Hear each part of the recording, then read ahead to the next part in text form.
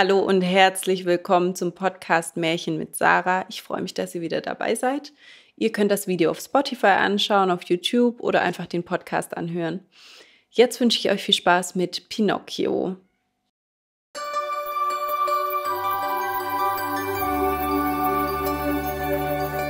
Einunddreißigstes Stück Freund Röhrle. Nach dem Mittagessen wollte Bengele seine Freunde im Städtchen aufsuchen und zum Feste laden.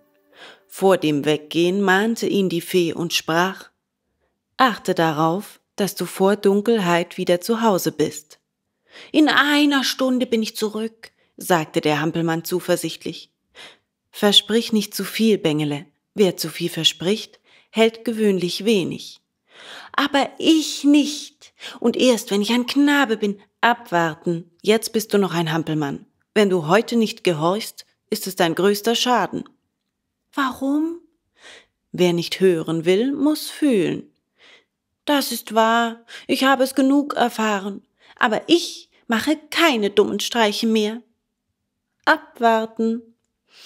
Bengele verabschiedete sich von der guten Mutter, sang und sprang und ging zum Hause hinaus. In einer Stunde hatte er wirklich all seine Freunde eingeladen. Die meisten nahmen gerne an, manche ließen sich auch bitten. Doch als sie hörten, dass es dick gestrichene Butterbrote mit Honig gebe, sagten sie gerne zu. Äußerlich zierten sie sich freilich und meinten, wir wollen dir deine Freude nicht verderben. Bengeles bester Freund war Friedrich. Die Knaben nannten ihn nur den Röhrle. Er war ein dünnes, zartes Kerlchen, aber in allen Streichen durch wie ein Blasröhrle. Gerade deshalb liebte ihn Bengele mehr als alle anderen. Er hatte ihn auch zuerst einladen wollen, aber er traf ihn nicht zu Hause. Auch ein zweites und drittes Mal war sein Gang vergeblich. Nun suchte der Hampelmann seinen Röhrle in allen Winkeln und Ecken, wo sie miteinander gespielt hatten. Schließlich fand er ihn vor dem Städtchen hinter der Scheune eines Bauernhofes. Röhrle, rief Bengele schon von weitem, wo steckst du nur? Was treibst du denn hier draußen? Röhrle hatte ein schlechtes Zeugnis erhalten und fürchtete sich vor seinem Vater, der abends nach Hause kam. Er antwortete seinem Freunde Ich warte bis Mitternacht, um auszureißen. Wohin? Weit, weit fort. Dreimal schon habe ich dich daheim gesucht. Warum? Hast du es noch nicht gehört, was morgen geschieht? Weißt du nicht, was ich werden soll? Was? Morgen hat es mit dem Hampelmann ein Ende, und ich werde ein Knabe wie du und alle anderen. Ich gratuliere. Also morgen kommst du zum Feste. Ich hab dir schon gesagt, dass ich ausreiße. Wann? Bald. Wohin? In ein fremdes Land, ins schönste Land der Welt. Wie heißt es? Faulenzerland. Willst du nicht mitgehen? Nein. Sehr dumm, Bengele. Es wird dich einmal reuen. Faulenzerland ist das schönste Land der Welt. Schulen und Bücher sind dort verboten. Wer lernt, wird bestraft. Jeden Tag ist schulfrei. Die großen Ferien gehen vom 1. Januar bis 31. Dezember. Das ist ein Leben nach meinem Geschmacke. Daran könnten sich die zivilisierten Länder ein Vorbild nehmen. Aber was treibt man denn jeden Tag im Faulenzerland? Hm. Man spielt von morgen bis Abend, dann geht man schlafen und am anderen Morgen fängt es von vorne an. Na? Hm, machte Bengele und neigte den Kopf zur Seite. Das bedeutete, das tät mir auch gefallen. Gehst du also mit, ja oder nein? Sei nicht langweilig.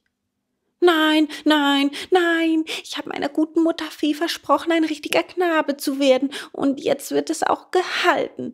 Übrigens geht die Sonne gleich unter, ich gehe heim, adieu, glückliche Reise. So wird es doch gerade nicht eilen. Doch, ich habe es meiner Mutter versprochen, bevor es dunkel wird, will ich daheim sein. Bleibe nur ein wenig da. Es wird zu spät. Nur noch ein ganz klein wenig. Dann schimpft die Mutter Fee. Lass sie schimpfen, sie hört auch wieder auf. sagte der schlimme Röhrle.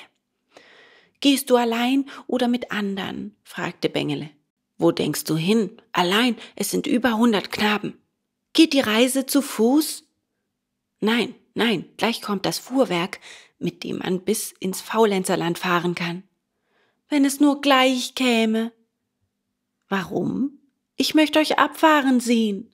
Warte noch ein wenig und du kannst alles sehen. Nein, nein, nein, jetzt geh ich heim. Warte nur noch ein bisschen. Ich hab lang genug gewartet. Die gute Mutter ängstigt sich um mich. Die arme Fee, sie wird vielleicht denken, dass dich der Nachtkrab frisst. Na also, sagte Bengele.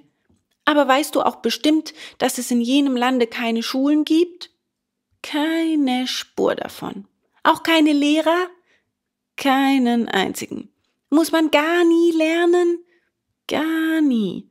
Ein schönes Land murmelte Bengele. Schon war er halb gefangen. Ein schönes Land. Ich habe es zwar noch nie gesehen, aber ich kann's mir vorstellen. Warum gehst du nicht mit?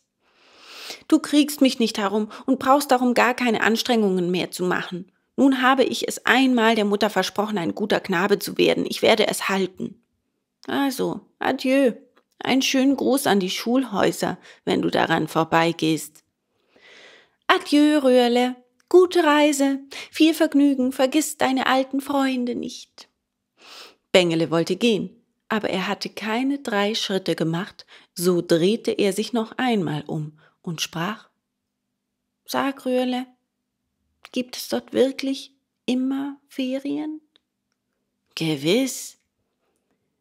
Weißt du ganz sicher, dass die Ferien vom 1. Januar bis zum 31. Dezember gehen? Ganz sicher. Ein schönes Land, seufzte Bengele und rückte seine Mütze zurecht. Aber er siegte noch einmal über sich selbst und sagte rasch Also, adieu, gute Reise. Adieu. Gleich drehte sich Bengele noch einmal um und fragte Wann geht es ab? Gleich. Schade.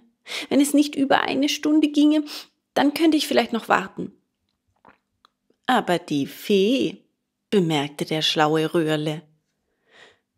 Jetzt ist es sowieso zu spät und auf eine Stunde mehr oder weniger kommt es nicht mehr an.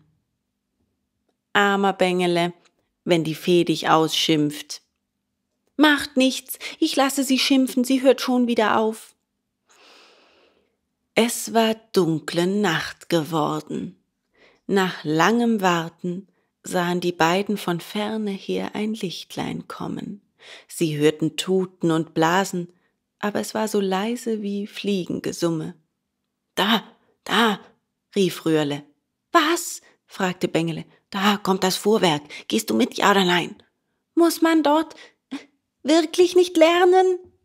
Gar nicht, wirklich gar nicht.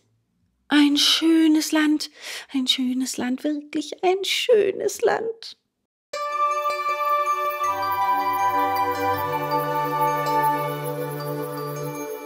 Vielen Dank fürs Zuhören. Ich hoffe, euch hat dieser Teil auch gefallen und in zwei Wochen geht's weiter.